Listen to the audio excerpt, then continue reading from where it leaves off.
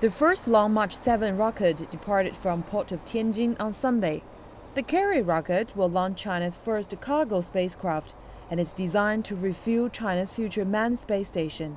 The rocket is liquid-fueled, enabling it to carry 14 tons of goods, 6 tons more than other rockets.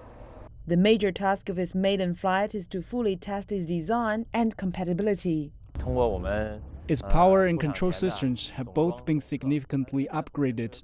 We'll also load experimental equipment on it during the flight to test relevant technologies. The rocket is in a good state after the final assembly and test. The sea state is also conducive for the shipment. Its maiden flight is the first of the four flight missions of China's Space Lab program. It will also be the first launch mission carried out by China's Hainan Space Launch Center. Wang Dongxuan, CCTV.